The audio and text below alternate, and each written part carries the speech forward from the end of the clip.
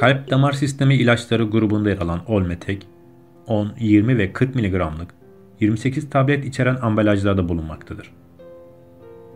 Olmetek'in etken maddesi olmesertan medoksomildir. Olmetek tablet nedir, ne için kullanılır? Olmetek tablet, kan damarlarını daraltarak, kan basıncının yükselmesine sebep olan anjiyotensin 2 isimli maddenin kan damarlarını daraltmasını önleyerek, kan basıncını düşürüp kan akışını düzenleyen hipertansiyon ilacıdır. Ayrıca anjiyotensin 2'nin sebep olduğu sodyum ve su tutulumunu önleyerek de tansiyonun yükselmesini engeller. Olmetek film tableti kullanmadan önce bilmesi gereken hususlar şunlardır. İlacın etken maddesine karşı bir alerjiniz varsa bu ilacı kullanmanız önerilmez. Bu ilacın kullanımı sırasında potasyum takviyeleri veya tuz türevleri kullanmayınız.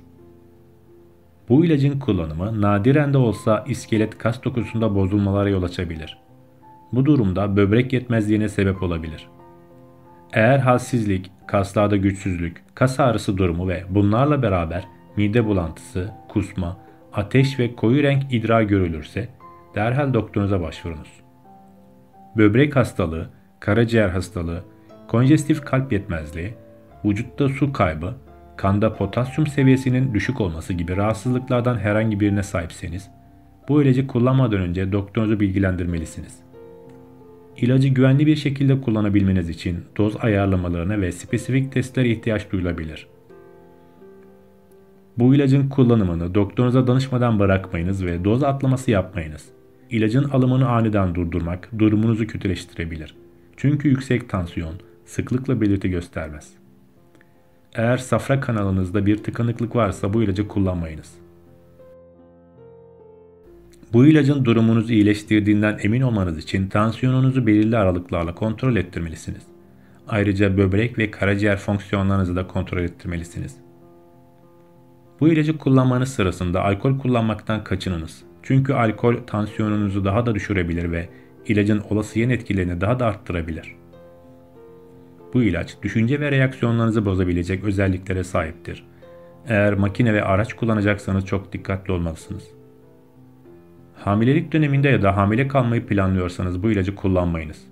Eğer ilacın kullanımı sırasında hamile kalırsanız derhal doktorunuza durumunuzu bildirmeli ve ilacın kullanımını durdurmalısınız.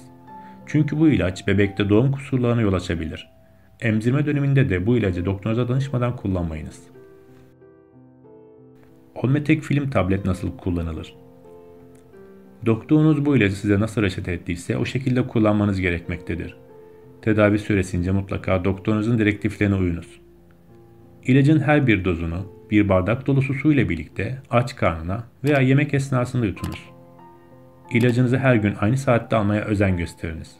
Doktor tarafından başka bir şekilde tavsiye edilmedikçe tavsiye edilen başlangıç dozu günde 10 mg'lık bir tablettir. Eğer bununla kan basıncınız kontrol altına alınmazsa doktorunuz günlük dozu 20 mg'a veya 40 mg'a yükseltebilir ya da başka ilaçlar reçeteleyebilir. Olmetek film tablet çocukların ve 18 yaşın altındaki ergenlerin kullanımına uygun değildir. Olmetek film tabletin kullanımıyla oluşabilecek olası yan etkiler ise şunlardır. İlacın kullanımıyla yaygın olarak sersemlik hissi, baş ağrısı, bulantı, hazımsızlık, ishal, karın ağrısı, ishal ve kusma ile birlikte görülen mide ve bağırsak enfeksiyonu, yorgunluk, boğaz ağrısı, burun akması veya dolması, bronş iltihabı, grip benzeri belirtiler, öksürük, ağrı, göğüste, sırtta, kemiklerde veya eklemlerde ağrı, idrar yollarında enfeksiyon, ayak bileklerinde, ayaklarda, bacaklarda, ellerde veya kollarda şişme, idrarda kan, kan testi sonuçlarında bazı değişiklikler görülebilir.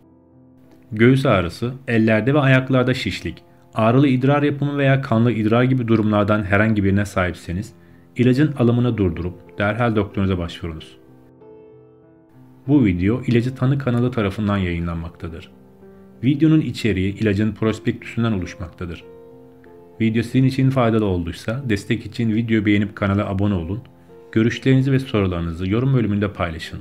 Sağlıklı günler dilerim.